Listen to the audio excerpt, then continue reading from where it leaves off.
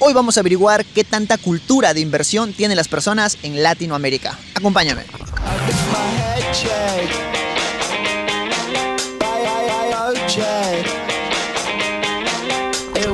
¿Cómo estás? Soy Brenda Vera y efectivamente hoy quiero hacer un video totalmente diferente al que he venido realizando en el canal. Y hoy decidí salir a las calles, interactuar con las personas con el propósito de aprender de ellos y también sumarles y aportarles valor y obviamente también ayudarles en lo que yo pueda hacerlo. Para eso, primero quiero hacer este vídeo, efectivamente voy a acercarme a las personas, les voy a preguntar si tienen cierta cultura de, de inversión, si han invertido alguna vez o no lo han hecho o por qué no lo han hecho y de esa manera también descubrir Quizás por ahí hay algunos tipos de inversión que pueden ser interesantes y que nosotros podemos también analizarlos y obviamente realizarlos. Así que acompáñame porque este, este video va a ser netamente interactuando con personas y si te gusta, apóyame para poder hacer más vídeos referente a esto. Así que vamos y empecemos a platicar con las personas. ¿Cuánto crees tú que es el sueldo promedio aquí en México? Son como 1600. ¿no? El sueldo mensual, si hablamos al mes. Pues como unos 6 mil, 7 mil pesos. ¿Cuánto consideras el sueldo promedio mensual que es aquí en Nuevo León? 4.900. 4.900, esa es la semana, pero al mes estaríamos hablando de unos 15 mil pesos o es mucho? No, es mucho. Lo mínimo general. Sí. Mínimo general son semanalmente arriba de 1.300. 1.300, unos 6 mil pesos, 6 mil pesos al mes. Ok, ¿cuál es el sueldo promedio mensual que se mueve aquí en, en Nuevo León? Eh, para un empleado obrero es eh, de 8 mil a, de 8 mil a 9 mil.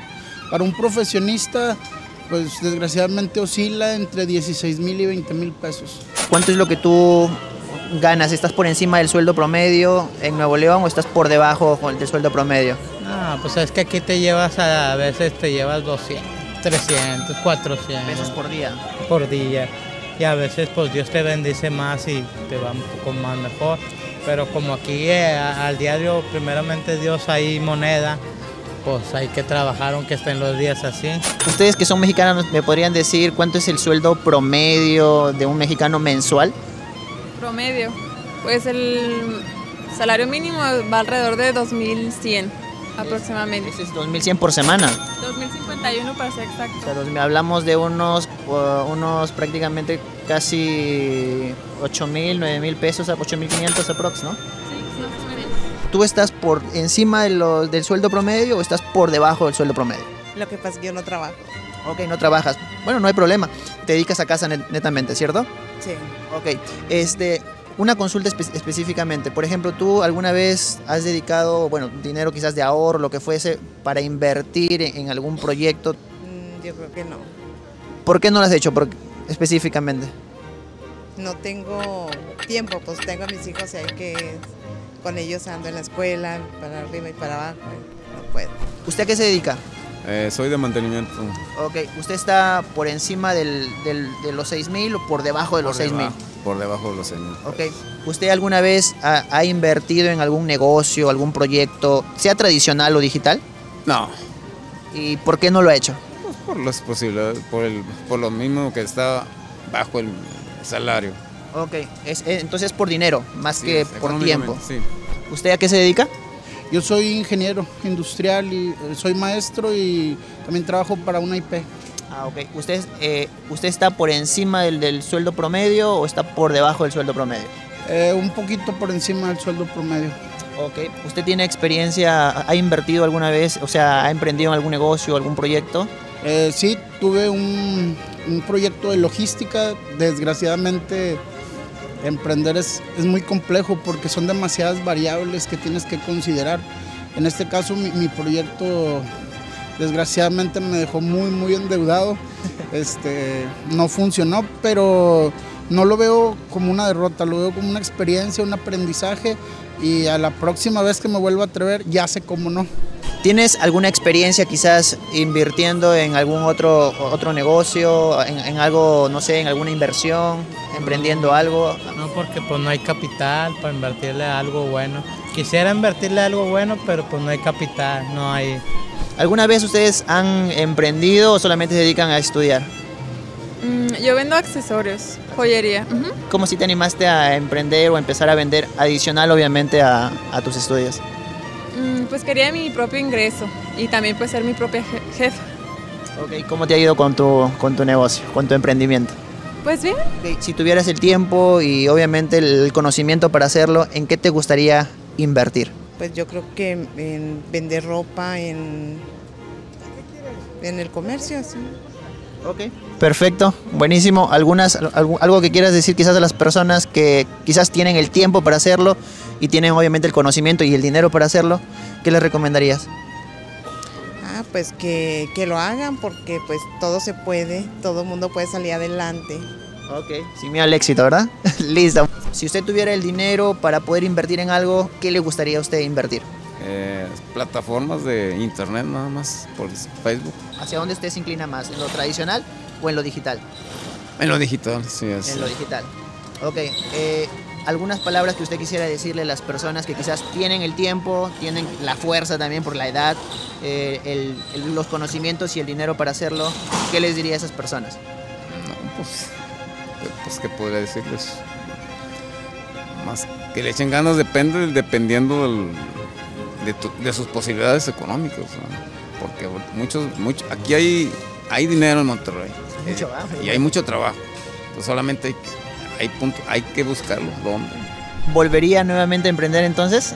Sí, lo, eh, lo tengo ampliamente considerado. Eh, emprender no es este, no debe ser una, una necesidad, debe ser obligatorio. O sea, eh, por- le, le pongo un ejemplo de nuestro país.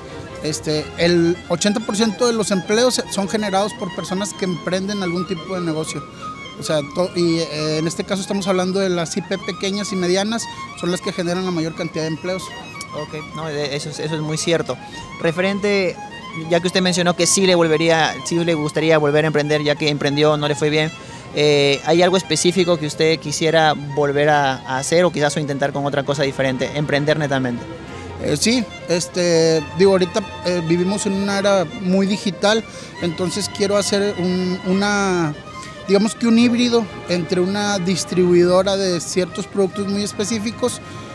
¿Por qué un híbrido? Porque sería tener el almacén físico, pero en, en just in time, o sea, materiales justos, pero eh, haciendo la promoción mediante medios digitales. Ok. Sí. perfecto. ¿Y cuándo piensa comenzar con eso o, o por qué todavía no lo ha hecho? Me estoy capitalizando, la verdad. Como algo que usted quiera para terminar ya, algo que usted le podría decir quizás a las personas obviamente que tienen el tiempo, la fuerza, el capital, los conocimientos para hacerlo, para que puedan emprender o invertir en algo, algo que usted quiera mencionarles. Sí, o sea, hay que entender que, que el, el- en este caso el flujo de dinero o el, el emprender no es únicamente para obtener un, bien económico en el caso de nosotros, es un bien general, o sea, el, el hecho de mover los flujos de dinero termina beneficiando a todos. Entonces, el único límite siempre deben ser nuestros temores, debemos de adquirir los riesgos, pero siempre eh, pensados para no afectarnos, o sea, no llegar a los extremos. Y el miedo no existe, al final de cuentas, este, lo hagamos o no lo hagamos, el tiempo va a pasar.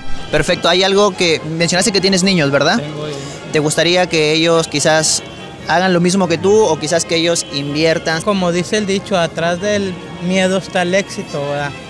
Por eso hay que a veces aventarnos a lanzarnos hacia invertirle, pero en mi situación no, yo no tengo, cap- pues te- podría tener capacidad, pero no tengo suficiente recurso para, para poner un negocio ahí en la casa. Listo, entonces, muchísimas gracias. ¿Algunas palabras finales que quieras decir a las personas que quizás que tienen los recursos, tienen el capital, tienen los medios para, para emprender o invertir? ¿Qué les, qué les dirías a esas personas? Pues, yo les diría a esas personas que se convienen a Dios y pues no tengan miedo, porque como dice, el- eh, atrás del miedo está el éxito. ¿va? Yo por decir ahorita no quería venir a vender eh, por el agua, ¿verdad? Pero pues hay que salirle, ¿verdad? como dice el dicho, hay que salirle al toro, ¿verdad? Como quiera, Dios no te va a dejar sin un peso en la bolsa y ya de pedo llevas para la cena o para cualquier cosilla que se ocupe. Y pues que le echen ganas, que le echen ganas y nada más. Ok, y cuando ustedes terminen su carrera, eh, ¿cuánto les gustaría ganar? pues al menos 40 mil al mes. Ay, por aquí, a ver. Pues unos 50. En este caso, tú todavía que no has emprendido, ¿quieres solamente dedicarte a, a lo que estás estudiando o te gustaría quizás en lo futuro emprender o, o, no sé, invertir en, en algo? Eh, quizás sí me gustaría en un futuro emprender en un negocio propio, ¿no? Pero a futuro.